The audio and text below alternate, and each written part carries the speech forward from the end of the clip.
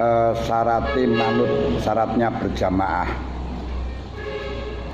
Inginane diaturakan bahwa syaratnya jamaah yakni syarat sahnya jamaah itu ada tujuh. Pertama jangan sampai barisannya melebihi daripada daripada barisannya imam karena hadis innama julal imam liyutama bihi imam itu dijadikan sebagai panutan sebagai imam karena untuk diikuti orang yang diikuti tentunya harus di depan karena nggak mungkin akan mengikuti orang yang di belakang. Nah, cuman untuk sholat jenazah memang yang mansud dari Syafi'iyah dari Imam Syafi'i bahwa jenazah itu didudukkan seperti halnya duduknya imam yang mestinya jenazah itu diletakkan di depan. Tapi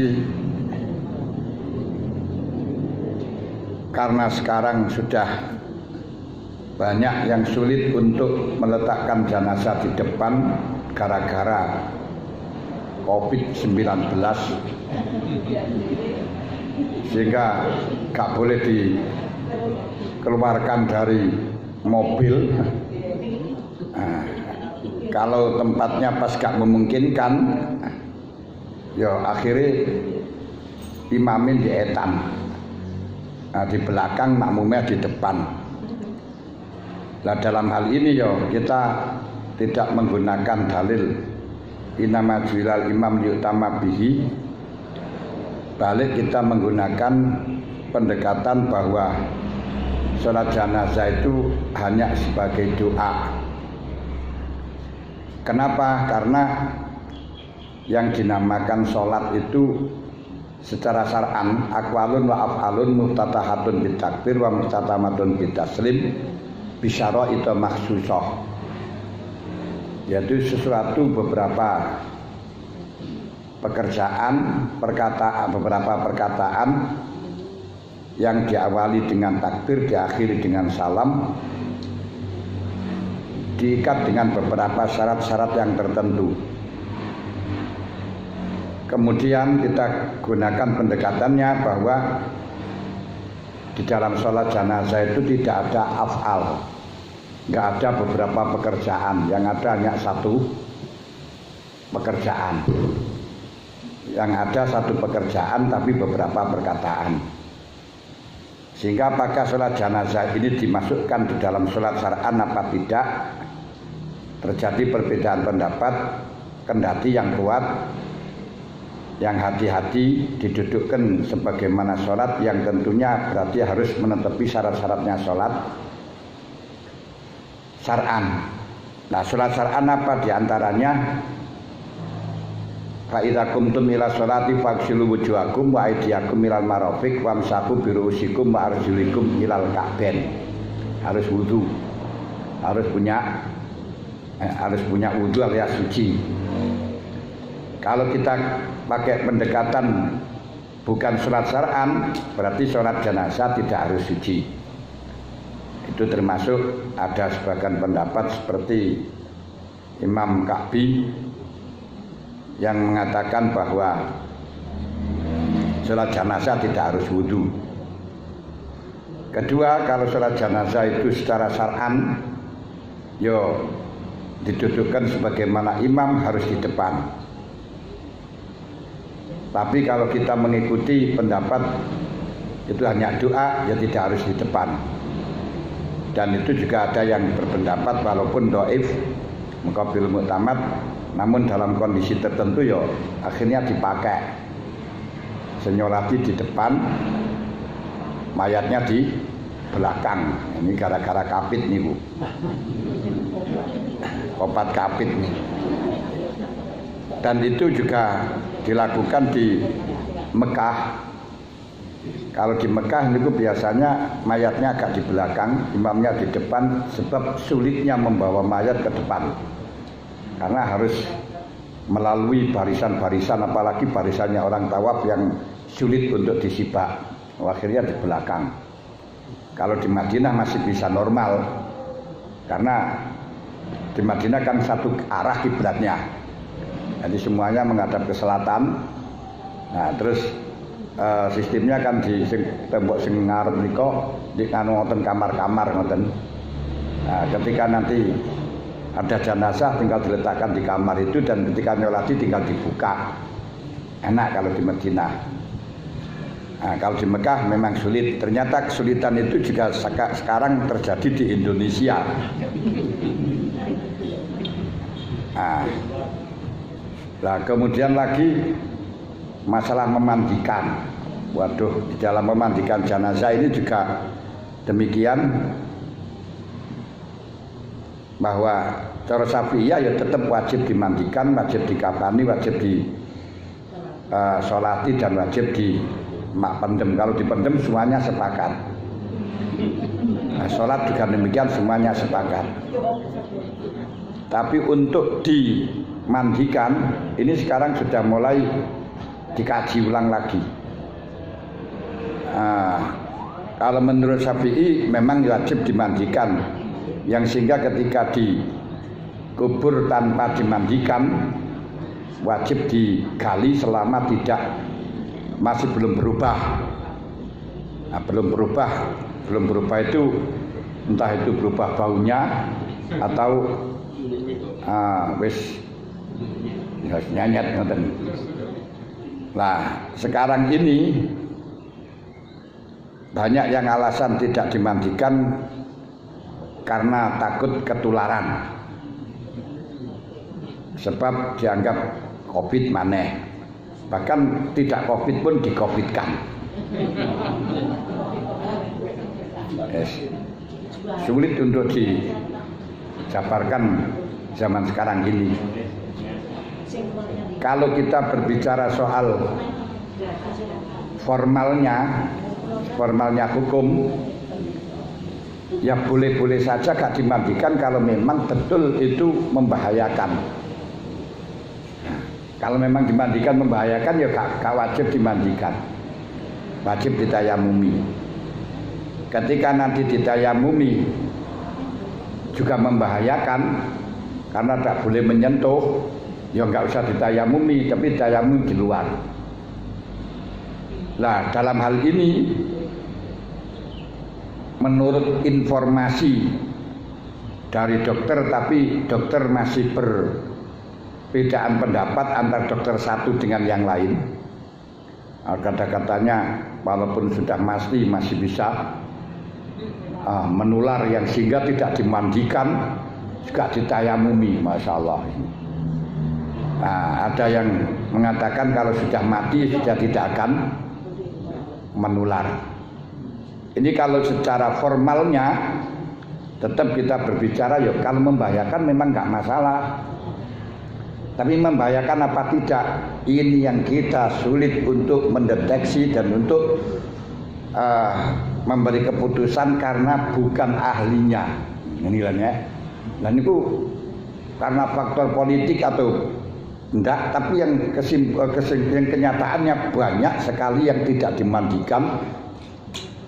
Tayamumi embung ah, seperti kemarin yang terjadi di yang viral di Jawa Barat Masya Allah ya sih katoan empes ya sih ya itu terus gimana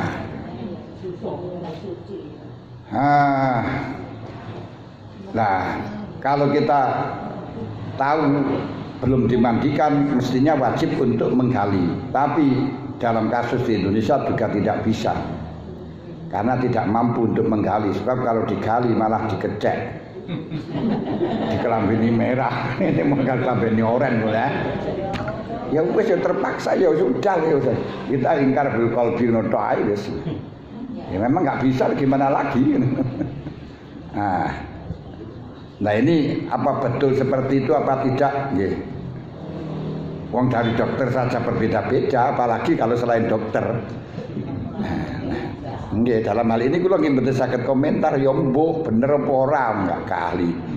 Tapi ya mosok toh mek ngoten tok. Lah ngisor iki ngoten tok kok. Masya Allah. Akhirnya ya kalau terpaksa tidak dimandikan ya kita mengikuti mazhabnya Imam Malik di mana mayat itu hukumnya memandikan namun sunat. Tapi dari Imam Malik itu tidak sepakat. Ada dua pendapat satu mengatakan tidak wajib, yang satu mengatakan sebagian mengatakan wajib. Ya terpaksa kita mengikuti sebagian Malikiyah yang mengatakan tidak wajib. Akhirnya kita sholati di kuburan. Nah, kita sholati di kuburan. Nah kalau sholatnya ya tadi bila sholati di kuburan masih ada jenazah masih di mobil itu boleh tapi jauh. Jaraknya jauh. Ya sudah nggak apa-apa jauh. 50 meter atau 100 meter. Kaya wedi temen ngoten lho. 50 meter. Atau 100 meter itu kalau 50 meter atau 100 meter itu masih memenuhi syarat syaratnya antara imam dan makmum tidak jarak antara 300 diro 300 diro itu satu diro 48 yang berarti sekitar 130 sekian meter. Nah ini kan berarti masih memenuhi syarat untuk disolatinya. Tapi lek mandikannya itu ya ya ini kalau terpaksa yang mengikuti sebagian lama Malikiyah kalau terpaksa ya semelan niku kita gak boleh ingkar Nah, yo sebisanya kita berusaha sebagaimana mazhabnya Imam Syafi'i tapi gak, kadang nggak bisa. Yang rumati jenazah itu tidak boleh perorangan sembarangan orang tapi harus uh, orang yang sudah mendapat mandat. Konon kabarnya kalau gugus masih bisa dilakukan sebagaimana mestinya ingin itu dimandikan dan di kafani konon. Tapi kalau dari menkes tidak. Sedangkan dokter nah, rumah sakit lebih memilih menkes daripada gugus. Sebab kalau gugus masih mengeluarkan uang untuk perawatan tapi kalau menkes tidak karena uangnya dari atas langsung potong di kemauan. Nah. Sulitnya semacam itu. Akhirnya ya gini yang terjadi banyak yang tidak dimandikan yes kita terpaksa ya semelok wis ana sing olehno ae gak wis. Nah, dan mayatnya nggak berdosa itu. Nggak masalah nggak ada alasan yang dosa itu kan yang hidup. Nah yang bertanggung jawab siapa? Yang bertanggung jawab orang yang mampu yang mengetahui. Nah, yang tahu dan yang mampu walaupun tahu kalau tidak mampu kita tahu tidak mampu dekat saja gak boleh kok. Nah, bagaimana lagi terus apa mana duda lu malah dikecek kok ya. Ya sudah kita walaupun tahu gak berdosa. Kenapa? Karena gak mampu. Gak mampu. Lah sing mestine ya sing berdosa sing sing uh, tahu dan mampu nggih gugus-gugus niku. Lah sementara sing golongane ngoten niku Wong salat jenazah mawon karo rukuk bareng kok. Nah, sing mati nih lho ora tau ora ngerti mau masalah kan mati akhirnya salat jenazah dikasih rukuk. Nah itu bagaimana? Ya sholat spesialis ngoten mawon. Dibaca ini orang ngerti itu dipaksakan. Yang ngerti tidak boleh mendekat. Nah, ya sudah nih. Ah, niki zaman saat niki niki terjadi ini kayak ngoten. Makanya kalau kita mengikuti satu mazhab hanya satu pendapat stres musisi malahan. ya wis dilonggarno apa yang telah dilakukan tidak dimandikan ya ada pendapat yang memperbolehkan walaupun dia itu tidak karena taklid kepada mereka ya tapi ada yang memperbolehkan dan pendapat yang mukhtalaf ini tidak boleh diingkar, diingkari. Nomor loro syaratnya jamaah niat manut niat berjamaah bagi ya, oh, dengan imam yang hadir ya jelas Nah, niatnya kapan? Kemarin sudah saya sebutkan apabila sholat itu wajib dilakukan dengan jamaah dimulai takbiratul ihram. Kalau sholat itu tidak wajib dilakukan dengan jamaah pokok yang penting belum sampai mengikuti imam dan belum menunggu imam dengan jangkah yang panjang itu boleh.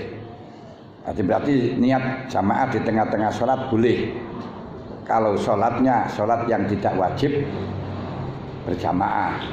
Nah sholat yang wajib berjamaah itu ada empat. Napa mawon? Begini pun tentu.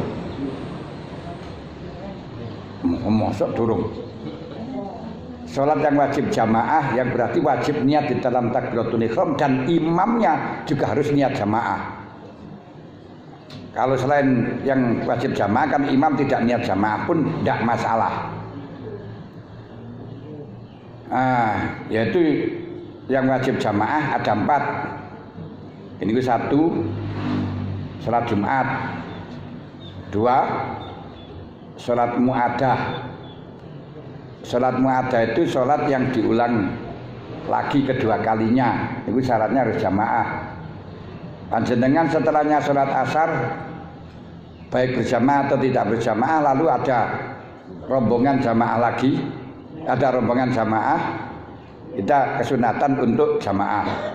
Atau ada orang sholat sendirian dalam rangka kita membantu kepada mereka biar tidak sholat sendirian maka kita boleh sholat lagi dan harus jamaah jamaah. Ketika sholat yang dilakukan dengan jamak takdim disebabkan hujan.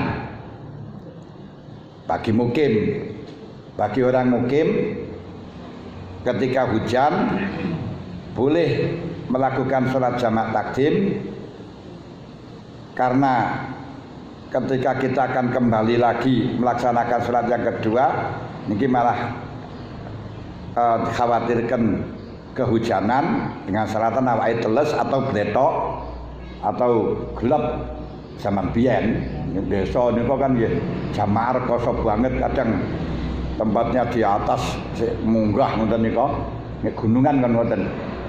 Lah itu boleh jamak takdim kalau waktu hujan dengan beberapa syarat yang telah ditentukan.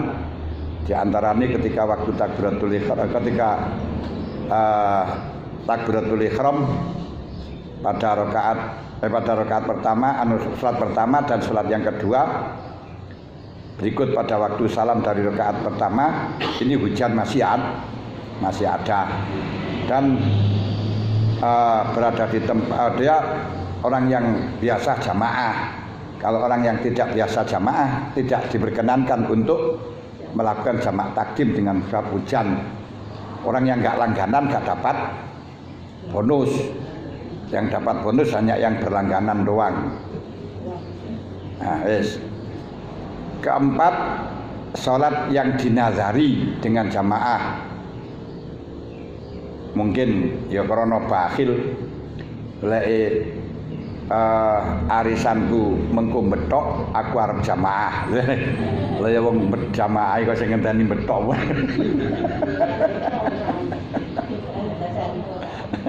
ah niku wong medit nah umpama terjadi kaya ngoten niku jamaah wajib karena jamaahnya wajib harus niat berjamaah mulai dari takbiratul ihram.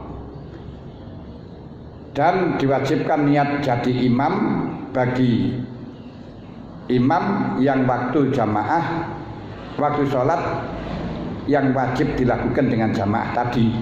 Ini empat tadi sholat jum'ah sholat mu'adah sholat jamaah takdim bil mator sebab hujan dan sholat yang dinazar yang dinazari apabila sholat-sholat yang tidak wajib dilaksanakan jamaah seperti sholat duhur Nah, yang bukan karena hujan, eh, bukan karena jamak takdim, bukan karena nazar, bukan karena muadah, wajibnya niat kalau imam niat jadi imam hukumnya sunat. Kalau tidak niat jadi imam sholatnya dihukumi sendirian. Tapi bagi makmum tetap mendapatkan fadilahnya jamaah. Karena yang terikat sholat berjamaah itu hanya makmum kepada imam. Makanya kalau makmum harus niat jamaah. Kalau imam sholatnya tidak terikat dengan makmum karenanya tidak harus niat jamaah kan nggak ada sholatnya imam yang harus mengakomodir sholatnya makmum kan enggak tapi yang makmum yang harus menyesuaikan dengan imam. Ya kalau imamnya nanti sulit diikuti ya mufarokoh gitu saja. Tidak ada teguran bagi imam. Ya gak usah melok ngono ae wis. Lek saya enggak usah tegur lho, Imam salatnya kecepatan. Hakku loh, ya ngene wis. Iki terserah aku kali, Pak Pomis gak usah jawab pisan. Nah, bagi sholat yang tidak wajib jamaah ini syaratnya niat jamaah dilakukan yang penting belum mengikuti dan belum menunggu imam. Nah, berarti yang tidak boleh ketika kita sudah mengikuti tapi tidak niat jamaah. Contoh belum waktunya rukuk kita rukuk bersama imam padahal tidak niat jamaah supaya dianggap orang yang uh, jamaah padahal tidak jamaah itu nggak sah. Kenapa? Karena sudah mengikuti imam dan sebelum menunggu imam dengan jangka yang panjang. Contohnya kita waktunya rukuk nggak rukuk-rukuk karena menunggu imamnya rukuk biar kita dianggap jamaah.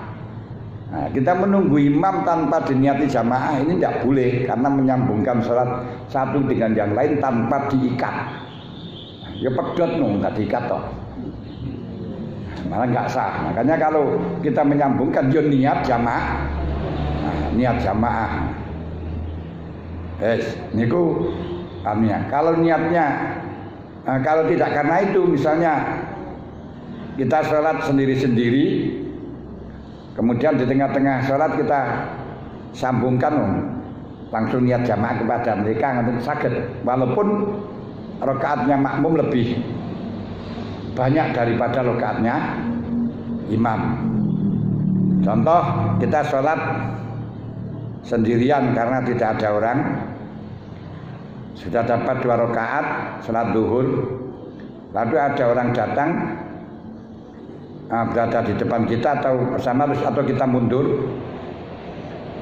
Dia tidak jamaah dengan kita kita ngalai kita melok jamaah kepada dia. Nggak apa-apa. Berarti kita niat jamaah di tengah-tengah sholat. Nah ya lalu nanti bagaimana dalam uh, dalam aturannya. Ketika mengikuti imam ya harus mengikuti aturannya sholatnya imam. Tapi ketika nanti imam sudah selesai dua rakaat sudah empat rakaat imamnya masih dua imamnya harus meneruskan. Makmum tidak boleh meneruskan. Nah, lalu bagaimana? Bisa salam dulu bisa menunggu imam. Nanti salam bersama Cuma syaratnya menunggu harus pada rukun yang memang bisa diperpanjang. Bisa dilakukan dengan panjang. Kalau tidak pada rukun yang semestinya bisa diperpanjang atau bukan tempatnya, tidak boleh. Contoh kita sholat jamaah dengan imam Nah, kita dapat tiga rakaat, imami empat rakaat. Lalu imamnya berdiri rakaat kelima. Jelas menurut kita nggak sah. Tapi imamnya karena imamnya nggak merasa kalau itu rakaat kelima ya nggak masalah. Perasaannya imam masih keempat. Tapi panjenengan yang perasaannya sholatnya imam sudah kelima, tidak boleh ikut walaupun panjenengan masih tiga. Tapi di dalam hal niki panjenengan ngenteni harus pada waktu sujud. Jadi pada waktu sujud kedua jangan bangun karena menunggu imam. Yang berarti kalau sudah bangun nggak ada jalan lagi kecuali mufarokoh. Kenapa kita kembali sujud berarti tidak boleh karena nambahi rukun? Mengikuti imam nggak boleh karena imam menurut kamu salah, menurut kita salah. Ngenteni dalam duduk ya tidak sah karena bukan tempatnya duduk. Nah, ini berarti dilematis. Nah, yang ini bisa terjadi dikarenakan terlalu gegabah biasanya selalu mendahului imam selalu bersamaan dengan imam atau biasanya bangun belum pada waktunya padahal waktunya bangun itu kalau berdiri imam sudah berdiri Allahu Akbar baru kita bangun. Tapi karena kita biasa imam bangun kita langsung bangun. Setelahnya imam salah ini kita gak bisa nangani. Nah, hanya dalam satu kasus. Nah, ya itu memang ketika kita dapat tiga imamnya berdiri kelima ini ah, dilematis. Dan Un, itu yang ke ah, syarat yang ketiga, yang kedua syarat ketiga saniki wa ilmuhu binti kolatil imam syaratnya berjamaah itu makmum harus tahu gerak geriknya imam perpindahan rukunnya imam. Sebab namanya jamaah imam dibentuk jadi imam agar supaya diikuti. Bagaimana mungkin kita mengikuti tidak tahu perpindahannya kok. Makanya jamaah pada waktu yang gelap gelita dan tidak ada suara. Nah, itu gak sah jamaahnya. Karena bagaimana kan yang menyambung, enggak oh, tahu kok. Mama ruko juga tahu juga kok belum, belum enggak tahu. Demikian pula jamaahnya orang tunanetra. Ini kalau tidak mendengar tidak sah. Kecuali ada yang mendampingi kemudian harus nyenggoli ngoten. Nah, ada termasuk Sholat jamaah imam dengan makmum belakang dalam keadaan gelap gelita, makmumnya budek. Iya, nggak sah. Akan mendengarkan tidak dengar, melihat gelap gelita. Ini juga nggak sah. Nah, kenapa? Karena nggak tahu perpindahan imam. Ini nggak tahu bagaimana kalau imamnya waya sujud gitu, waya ngadek lagi itu ngadek Imam Wayai ngadek itu sujud ya benteng cueng Imam Wayai salam gitu ya enggak tahu kita setelahnya salam pulang imam di masih sholat nggak boleh. Nah untuk mengetahui gerak geriknya imam ini ber, berbagai macam cara. Yang terpenting di dalam hadis imam dijadikan supaya diikuti kata mengikut harus tahu keadaan imam tahu gerak geriknya imam perpindahan imam bisa dengan melihat imam. Yang biasa bisa melihat dengan soft barisan. Nah, makmum yang di sampingku depannya. Nah, atau barisannya barisan sopnya sop dan sop sampai ke belakang walaupun nggak kelihatan imam tapi mengikuti barisan di depannya sah. Dua ketiga bisa mendengar walaupun nggak kelihatan tapi mendengar suaranya imam atau suaranya mubalir ketika imamnya sudah nggak mampu untuk mengeraskan nah, pakai mubalik. Ya saya ketika imam bangun Allahu Akbar Allahu Akbar. Eh, misalnya nih wangi ini suara mau balik mau balik itu maknanya penyambung penyampai. Nah, nah, penyampai suara imam nah balik itu bisa. Walaupun tidak orang sholat. Walaupun mubaliknya nggak sholat nggak apa-apa. Maka yang penting memberitahukan. Nah, hanya memandu. Walaupun mau fasek asalkan kita mempercayainya. Karena yang terpenting ada zon dugaan kuat bahwa imamnya telah pindah rukun. Termasuk sekarang sudah di uh, masukkan dalam bisa masuk di dalam dunia elektronik uh, termasuk sains dan teknologi bisa dengan mendengarkan max speaker karena ya kalau dalam kitab asli yo nggak ada. Keterangan harus dengan max speaker nggak ada. Tapi dalam kitab aslinya itu harus tahu begitu saja dan ditafsiri walaupun toh tidak sholat walaupun toh orang fasik asalkan kita percaya. Nah kalau kita kembalikan antara orang fasik dengan suara speaker lebih jelas speaker. Nah itu boleh kita beriktimat bertetanggenan berpedoman pada suaranya imam yang disuarakan pada speaker ini keliru, ternyata rekaman, ya sudah nasib.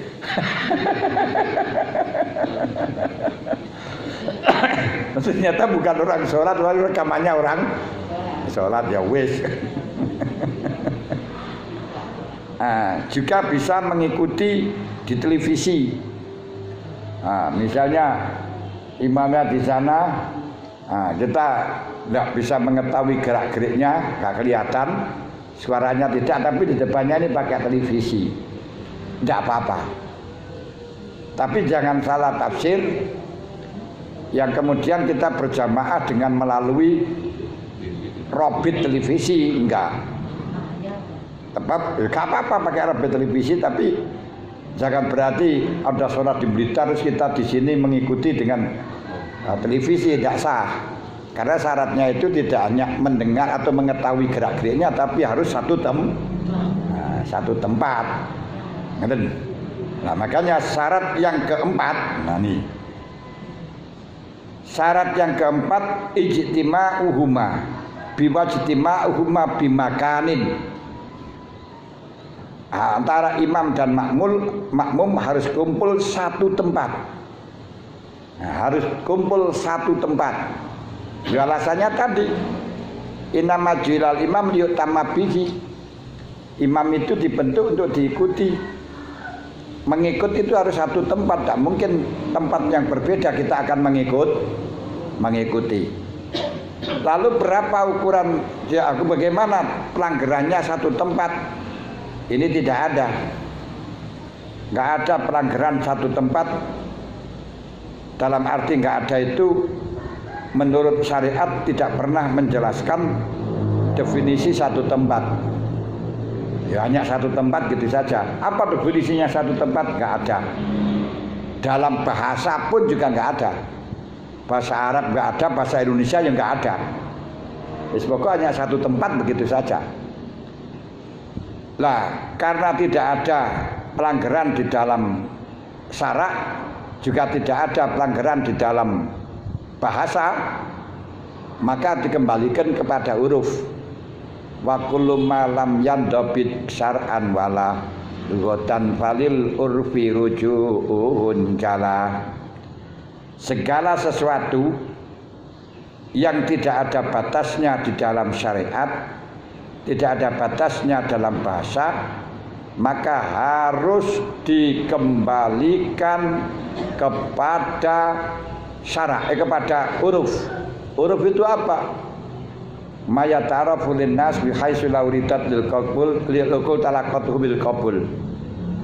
Yaitu suatu kebiasaan, suatu hal yang terjadi di masyarakat yang andai kata ditanyakan kepada orang yang akalnya sempurna, punya akal, tentu akan menerima alias oke, okay, alias pantas, alias pas itu baru di uh, baru dihukumi sah. Nah, Ini tidak dalam jamaah mawon, semuanya hal-hal yang tidak ada pelanggarannya di dalam syariat, tidak ada dalam bahasa. Maka kembalinya kepada huruf. Huruf itu adalah keadaan yang di, berlaku di masyarakat yang andai kata ditanyakan kepada orang yang normal akalnya, tentu dia akan menerima menerima alias bahasane sak pantese sak pantese berarti setiap yang dihukumi pantes satu tempat pantes dihukumi satu tempat ya diarani satu tempat. Kalau dihukumi sudah nggak pantas diarani satu tempat ya tidak dihukumi satu tempat.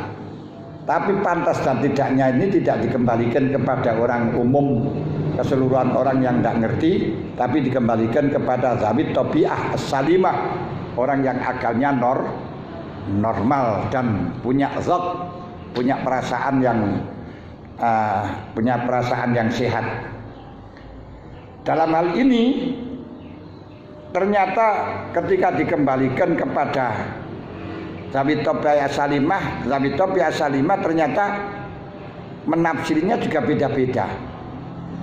Ada pendapat antara imam dan makmum itu kalau sudah tiga dirok gak sah. Bukan gak mendapatkan fadilah jamaah, gak sah. Kenapa? Karena menanalogikan bahwa jamaah satu tempat itu seperti wong jagongan. Wong jagongan itu bisa dikatakan jagongan satu tempat itu adalah tiga biro. Kalau sudah lebih enggak, enggak dikatakan satu tempat. Nah, makanya kalau sudah disebut dengan distancing fisikal harus pindah harus tidak boleh satu tempat. Berarti bisa ono jarak air itu ini satu. Udah nggak satu tempat nggak apa-apa. Gak kumpul. Jangan kumpul berarti gak kumpul berarti. Gak kumpul gak sama amalian. Ah, tapi Syafi'iyah kebanyakan mengatakan 300 dirok. Nah 300 dirok niku kalau satu dirok 48 menurut Syekh Abdul Bar. Nah, berarti uh,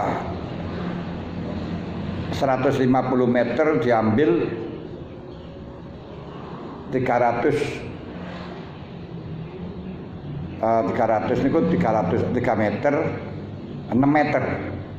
Berarti 40 144 144 cm kira-kira apa? Nggih 140 dan 144 meter. Niku jarake kalau menurut Imam Syafi'i. Tapi kalau uh, kalau menurut Abu Hanifah pokok satu tempat kalau di situ aku masih satu uh, satu tempat ini. Kalau lain tempat walaupun jaraknya tidak kurang dari tidak uh, tidak lebih dari 300 diro misalnya siji di kamar siji siji di kamar siji. Itu sudah tidak sah menurut Hanifah. Kecuali ada penyambung. Jika ada penyambung kan? Itu sudah lain tempat. Walaupun jaraknya dekat. Satu di truk. Ada truk terus sudah ada truk loteng dan loteng. Dekatan. Ini sudah nggak sah Abu Hanifah. Syafi'i sah. Nah, itu pandangannya bagaimana? Ya yuk tinggal kembalikan kepada diri kita pantas nggak jalan satu tempat itu saja demikian pula cara mazhabnya Imam Syafi'i. Selama di situ satu masjid walaupun jauh satu kilo diarani satu tempat. Itu pandangannya Syafi'i. Kenapa? Karena dikatakan ditanyakan saya jamaah satu masjid toh? Lah gitu nih. Nah, mulai ini walaupun jauh masih satu masjid toh nah, terus tapi karena view nggak bisa. Walaupun satu masjid kalau sudah lain udah nggak bisa dikatakan satu tempat nggak sah. Yang jelas dalam hadis tidak pernah menyebutkan pelanggarannya satu tempat. Dalam Quran tidak pernah menegaskan pelanggarannya satu tempat. Di dalam bahasa juga tidak pernah menjelaskan yang ada dalil isyarah dari hadis bahwa jamaah itu harus kumpul satu tempat, kumpul satu tempat. Nah, untuk disebut dengan kumpul atau tidak, satu tempat atau tidak, tanyakan kepada hati kita masing-masing. Makanya kalau di situ ada tamparnya, misalnya ini sama katakan nono tampar ini satu tempat apa enggak, kan itu maut ya. Kalau kau katakan tidak satu tempat ya tidak mawon. Kalau ada batas dindingnya, ya tika kita tanyakan kepada diri kita kira-kira dinding itu menghalang kita apa enggak mawon. Kalau sudah menghalang kita nggak bisa datang kecuali harus lompat harus naik itu berarti tidak satu tempat. Selama kita masih bisa sampai ya masih satu nah, satu tempat ngoten mawon. Lah berapa ukurannya? Tidak ada aturan yang baku. Sekarang pantas sih ngoten mawon. Lho ngoten. Yes, niki maafi makanin. Harus kumpul satu tempat. Karena setiap hukum yang dikembalikan kepada uruf sangat rawan konflik, sangat rawan berbeda pendapat.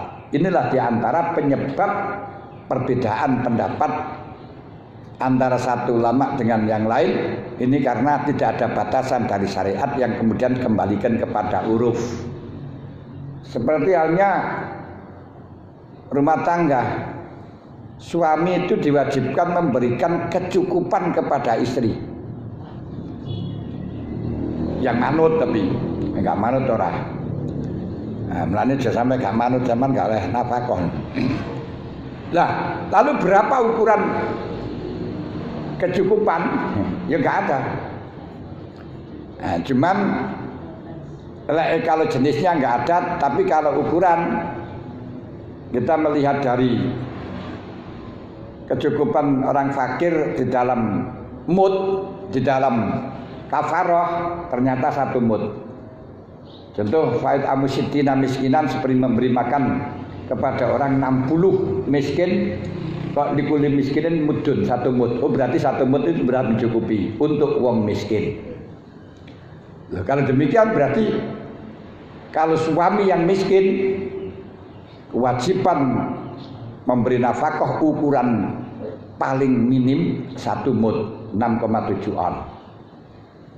Kalau kaya di dalam kafaroh itu paling banyak niku dua mud.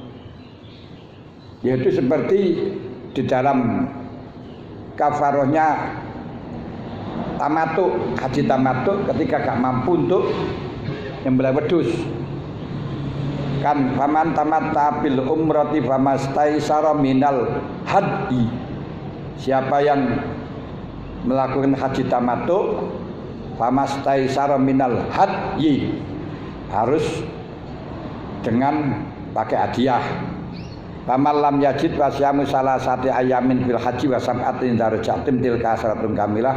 Zalika lima lam yakun anu hadir masjid haram. Eh sana sini kusingan Ah ini lho Faman kana minkum maridun au bihi azam min ra'sihi fafid yatum min fafid yatum min siyamin au sadaqatin au nusuk. Dengriko sedekah ternyata diwajibkan sedekah enam uh, tiga sedekah tiga sok. Telung fitrahan dibagi kepada orang enam. Telung fitrahan dibagi kepada orang enam. Berarti telung fitrahan niku sak fitrahan petang mut petang cawuk. Kalau telung fitrahan dibagi orang enam berarti masing-masing dua mut. Berarti nafkah orang kaya nah, niku ukurannya dua mut. Lah tinggal kalau sedengan ya tinggal diparuh ngoten mawon pun. Tidak kaya tidak miskin ya samut setengah paru-paru ngoten mawon. Rada kaya ya mengko rada dhuwur teh lalu bagaimana ukuran uh, jenisnya makanan? Nggak ada. Ya karena secukupan ya ya sing pantes di daerahnya itu gitu aja Pantasnya di daerahnya gimana kata-kata kecukupan ya sing makanan layak. Lek wong melarat tuh layak wong melarat tuh apa? Ngoten mawon. Lek sugih layak wong sugih itu apa? Apa? Dan itu enggak ada keterangan. Karena itu setiap hukum yang dikembalikan kepada uruf sangat rawan untuk berbeda uh, pendapat. Nah, bahkan contoh seperti perubahan air air itu air suci ketika berubah dengan perkara suci katakan sobun atau kopi, teh dan sebagainya. Kalau perubahan ini uh, perubahan yang parah, yang banyak, ukuran banyak sampai merubah nama kemutlakan air. Merubah nama kemutlakan air seperti kalau kecampuran sabun sampai disebut dengan air sabun. Ini tohir ghairu mutahhir. Suci tidak mensucikan. Tapi kalau perubahannya hanya sedikit, ukuran sedikit tidak merubah nama kemutlakan air, ah, hanya bau sabun. Ini tohir mutohir, tetap suci dan mensucikan. Tapi ketika dihadapkan dalam satu kasus ini air sudah masuk di dalam air sabun apa hanya bau sabun? Nah ini ya mungkin antara satu orang dengan yang lain akan berbeda. Mungkin air sabun enggak duduk air sabun gurmamu sabun ya gini. Nah, tapi kan ya kita bisa lah mau ngombil gurmamu sabun ya kan ini kan bukan oh ini air sabun kan mau toh? Karena kalau sama tiga ngombe air sabun ya mesti ya Nah, ngombe ngono kae, oh iki mambu sabun ini enggak masalah. Ini termasuk tohir mutoh, tohir mutohir. Makanya seperti air pam kalau PDAM yang di uh, kota perkotaan itu selalu mambu kaporit. Nah, itu yo bagaimana ya tohir mutohir karena hanya bau kaporit kan tidak disebut dengan air. Kalau sama dikasih air kaporit lah mendem dulu tuh tengriku nah untuk dalam satu kasus mungkin angka antara satu dengan yang lain akan berbeda akan berbeda. Karena apa? karena nggak ada batasnya. Pantasnya disebut dulu Falau kana fi bina'in fi bina'aini Syuito adamu hailin Au wakof au Kok wakfu Wukufu wahidin Au wukufu wahidin Mestinya aja wakfu wahidin Wukufu wahidin aman fadhin fihi. Kalau Imam dan makmum itu Di dua bangunan.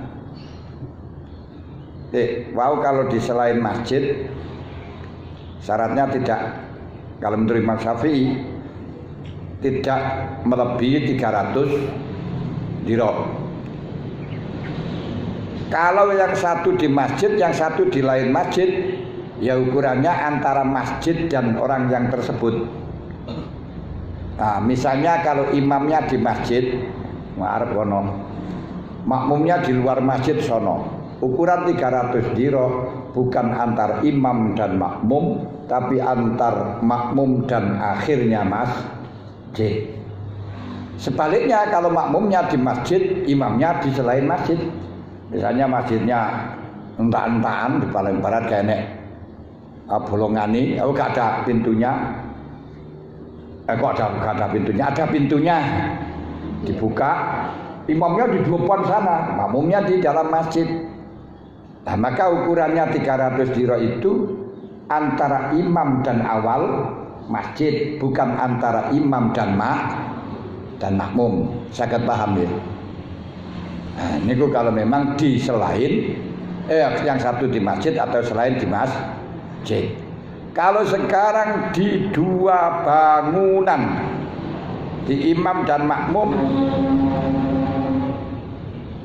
kalau di masjid kalau di masjid niki walaupun jauh bahkan terhalang bangunan-bangunan yang pintunya masih menerus atau tentunya pada uh, lotengnya masjid ini gak masalah.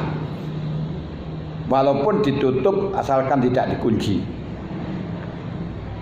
Tapi dengan catatan fi masjidin. Nah, misalnya masjid di sini, kemudian yang satu sholatnya di sebelah utara dan tidak bisa datang ke imam kecuali harus mundur, tidak masalah. Bahkan kecuali harus naik. Misalnya di sini ada kamar, di masjid tertutup, terus ada pintu naik, terus di sana ada pintu turun. Ini nggak masalah. Bahkan ada pintu naik itu saja. Ada pintu naik di sana tidak ada pintu turun, itu tidak masalah menurut Kolaujah. Kalau di dalam mas, dalam masjid. Nah, makanya kita jamaah di sini terus ini ada pintu masuk ke masjid, pintunya masuk ke, ke di atas masjid sana di masjid paling atas. Itu nggak masalah. Walaupun makmum kalau akan ke sana ya harus naik, nggak masalah. Itu kalau di masjid. Walaupun harus aku putar-putar nggak masalah. Karena apa? Karena tadi dikatakan kalau masjid itu satu tem, nah, satu tempat. Eh, seperti yang sekarang banyak terjadi masjid-masjid yang pintunya niku di Serambi di luar. Nah, tapi di sana kan uh, di atas masjid asalkan di sana niku ada dibuka ngoten pintunya. Di dalam di atas itu ada pintu yang umpama ke masjid walaupun gandolan tampar umpama bisa nggak masalah. Nah, walaupun di sini tidak sampai di mas di masjid, tapi di luar dibuka, dibuka saat cekope wong liwat ngoten mawon. Nah, itu nggak masalah. Nah, wes. Masalahnya orang dulu dengan orang sekarang itu di dalam mengatur tempat canggih orang sekarang. Kalau sekarang itu pintunya di apa itu di depan gak boleh. Karena kurang praktis atau selalu terlalu makan tempat. Butuhnya di luar. Di luar kan di masjid di luar di serambi bisa nah ini bagaimana? Pokok di atas itu uh, terbuka bisa masalah pun. Nanti ada uh, ada link ke masjid. Walaupun kalau dia turun harus gandulan tampar. Nah, itu gak masalah. Itu kalau di masjid. Tapi kalau karena fi bina ini kalau ada di bangunan luru surito ada muhail harus tidak ada aling-aling.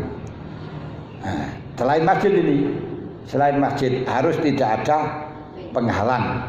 Kalau ada penghalang tidak boleh. Uh, walaupun mendengar. Au waqafa wahidun eh, au wukufu wahidin khida manfaatin fihi. Setidak-tidaknya walaupun ada penghalang tapi ada orang yang sholat di apa itu paling belakang bangunan tadi misalnya kita ada di bangunan sini siji bangunan sana. Terus di sana itu uh, kan ini gak, gak, ada penghalang. Ada penghalang tapi ada robit. Ada orang yang berdiri di sana kita lihat. Kita bisa menengok tidak masalah. Saya paham? Nah, walaupun kita tidak langsung bisa imam Nah, tapi tidak bisa sampai ke bangunan itu. Namun ada orang yang bisa sampai ke bangunan, kita mengikuti kepada orang yang sampai ke bangunan. Dan antara makmum satu dengan makmum yang lain itu sama-sama jadi imam. Sehingga di sini bisa mengikut sini, sini bisa mengikut sini itu bisa. Sehingga tidak harus uh, di dalam rukuknya dan seterusnya harus lebih akhir daripada orang-orang yang di depannya ndak. Hanya kalau takbiratul ihramnya itu harus lebih akhir daripada orang yang menjadi rob robin. Pun. Walau waqafa fi uluwin wa imamu fi suflin au aksuhu lam yustarat muhadatu ba'di badanihi ala tariqatil irri uh, iraqiyin allati rajahan nawawi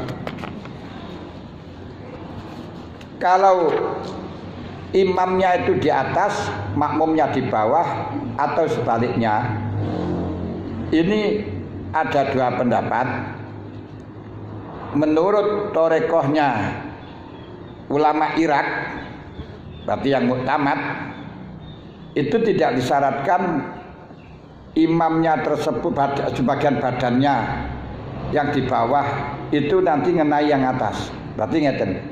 Tidak disyaratkan uh, lotengnya itu tidak lebih tinggi dari orangnya daripada yang bawah. Misalnya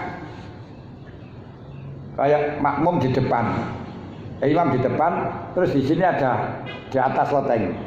Nah, kita berjamaah di atas. Nah, ini tidak disyaratkan kalau kita berjalan itu harus mengenai kepalanya yang di bawah itu enggak. Berarti lebih atas sehingga makmumnya di belakang di bawah. Wah, kita di atas enggak masalah. Menurut Tariqatul Iraqiyin yaitu mutamad. Tapi Tariqul Muzawarah niku disyaratkan harus tidak uh, apa itu namanya harus bisa sampai ke eh, harus uh, badannya makmum mengenai badannya imam andai kata berjalan. Harus mukhaza mukhaza ini bagaimana? Yaitu umpama makmum di atas umpama berjalan nah, ini akan mengenai kepalanya imam. Berarti tidak di atas kepalanya imam. Itu torikotul musyawarah tapi kalau doif ayo menurut kolnya Imam Nawawi, Imam Nawawi menurut pendapatnya ulama Iraqiyin no problem walaupun bangunan atau tempat di atas itu ada di atas kepalanya imam. Nah, karena itu di dalam mensolati jenazah kalau menurut Torikotul Iraqiyin ini makmumnya mak, uh, jenazahnya lebih atas nggak masalah. Kita ada di bawah sama anaknya di atas meja dawur nggak masalah. Kalau Torikul Muzawarah boleh dengan catatan mayatnya itu tidak lebih atas dari kita. Nah sedangkan dia sudah kita makanya kalau seperti sekarang terjadi di atas meja ya kan umpama kita berjalan kan ya masih kena loh. Nah, ini pun bukan masalah. Semua sepakat ini pun boleh. Nanti yang tidak sepakat ketika mayatnya itu di atas kita. Ini menurut tarikatul iraqiyin no problem. Gak apa-apa. Tapi tarikatul muzawarah gak boleh karena syaratnya harus muhadha harus mancer karena di situ tidak disyaratkan, maka ketika kita nyolati mayat yang di atas meja itu tidak perlu ada kursi. Nah, ini kadang-kadang gue ger. Kai kursi, sini ngilangi kursi. Nggak perlu ada kursi. Tapi ketika dikasih kursi, nggak usah sampai ngeyel ngilangi marah norami. Orang molok duwe ya ben Oh, masih dikai kursi kan ya nggak masalah sih. Benar eh? Memang nggak disyaratkan nganta kursi, tapi mau dikai kursi kan juga masalah, kan eh? Lalu anak kursi ini yang sehingga sampai di atas ini tidak ada syarat sama sekali, tidak ada kekhilafiyah ulama. Tidak ada khilafiyah itu walaupun di atas sana wayangnya di atas kita tidak masalah karena masih datang ke sana.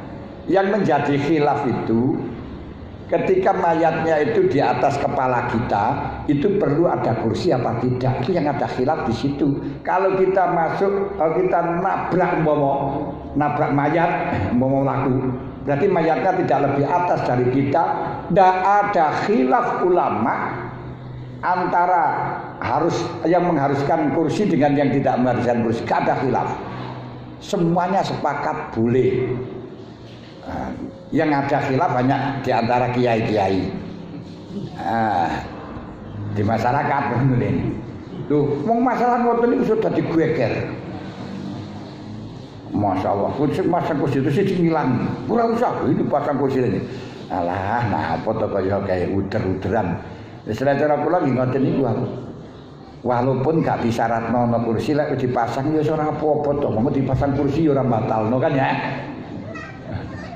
Nah, mengakomodir sing memahami ngoten niku wau tok lho lane. Ini penting. Seperti yang kemarin saya sampaikan masalah mujurnya mayat nih ya. Kan ini pun toh. Nah, gitu masalah-masalah niku wis ora usah geger. ah, cuman yang menjadi masalah lagi sekarang itu masalah menghadap kiblat. Waduh niki ya rawan banget. Mawang mati niku nek dikubur gak menghadap kiblat ya harus dikali. Selama belum berubah. Lah saat ini rata-rata mayat Covid ora ditepok kiblat. Bagaimana tidak lewong melumah apa di rumah non ayo terus nyelehno ya karena dianu ngoten terus piye ngono guys. Wis sing tanggung jawab sapa? Ya sing tanggung jawab ya sing nglakoni lek enggak sing lan sing ngerti ngoten sing iso niku mang. Atau iki piye pengawurannya ada karu-karuan. Ini mulai terbongkar kebusukan rumah sakit di dalam pengelolaan Covid. Memang sudah enggak beres. Dan itu mungkin akan terbongkar dari yang lain-lain termasuk orang yang tidak covid di covid covidkan dan seterusnya itu uh, jangan gampang uh, sekarang leha-leha dapat uang. Allah tidak tidur nanti akan dikupas akan diperlihatkan oleh Allah. Mulai beredeli kabeh. Masya Allah, lagi kayak ngoten ngalih. Wah, enak, gak usah covid di covid oleh duit nggak masalah sekarang nggak masalah. Tapi suatu saat pasti akan terbongkar oleh orang ini di akhirat. Lagi ini loh nih. Kok ya wani itu lah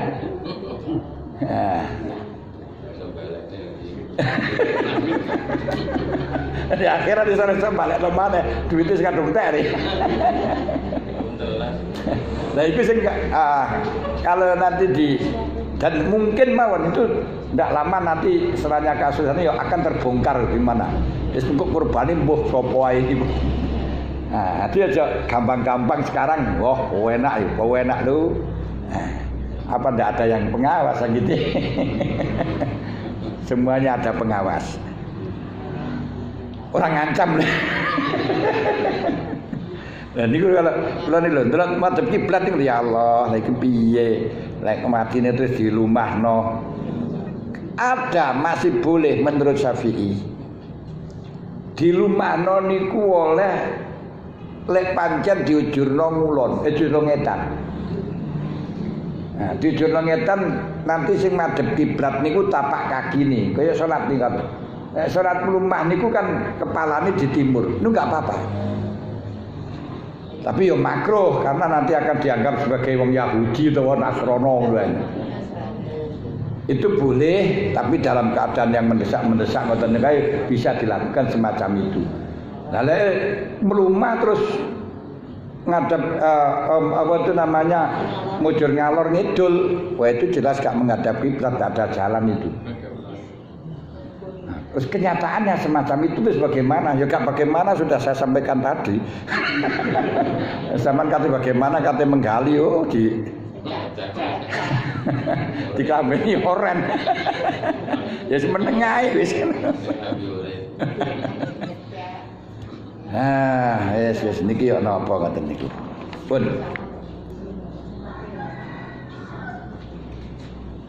walau waqafa wa kita ah, walau waqafa fi duwan wa misufri la usulam yusrat mukhadah niku mang hati umpama di atas liwat ini akan kena kepalanya. Makmum kepalanya orang yang di bawah itu namanya mukhaz mukhadah tapi di sini menurut Imam Nawawi dari kol Irak tidak disyaratkan. Berarti walaupun nggak mengenai berarti uh, lotengnya lebih atas. No problem. Tapi Torikul Muzawarah selain Imam Nawawi eh, selain Mutamad berarti kol yang doif ini disyaratkan harus tidak lebih tinggi daripada yang di bawah yang sehingga umpama berjalan itu akan mengena nah, akan mengenai nah, tapi ini maksudnya memang atas dan bawah tidak ada jalan. Kalau ada jalan walaupun di atas pun tidak masalah. Karenanya ini biar panjenengan paham nyolati jenazah walaupun di atas berarti di atas kepala kita jenazah yang dhuwur kono kita di bawah ini tidak masalah menurut pendapat Imam Nawawi dalam eh, dan kaulnya Iran tapi menurut kol muzawaroh, muzawaroh tidak sah kecuali mayatnya tidak lebih atas dari kita, dari kita. Nah, ketika tidak sah ini umpama dengan pakai selundak, pakai kursi masih sah. Maka di dalam penggunaan kursi sebagai robit itu memang disyaratkan menurut pendapat ketika mayatnya lebih atas daripada orang sholat menurut pendapat yang menyaratkan harus mukhaza yaitu kalau daif Nah, kalau yang ada di masyarakat kita nggak ada mayatnya lebih atas nggak ada. Masih di meja kita masuk pemwaku ya nabrak. Kalau seperti ini tidak ada khilaf ulama. Di dalam kitab uh, ulama kitab-kitab tidak ada khilaf. Apakah harus ada kursinya atau tidak? Yang khilaf niku ketika mayatnya lebih at lebih atas nah wis setelah panjenengan tahu semacam itu, kalau ternyata di meja ada kursinya, ya sampean nggak usah menghilangkan, murah melok duwe dan umpama dikai kursi juga tidak menghalang, enggak masalah bang. Nah, nah cuman ketika tidak ada kursinya ya tetap nyolatono sah. Ngerti apalagi kalau kita katakan doa, wes malah enak di kemang mah itu diburi barang nggak masalah. Ini ngoten. Sakit paham. Yes. Uh,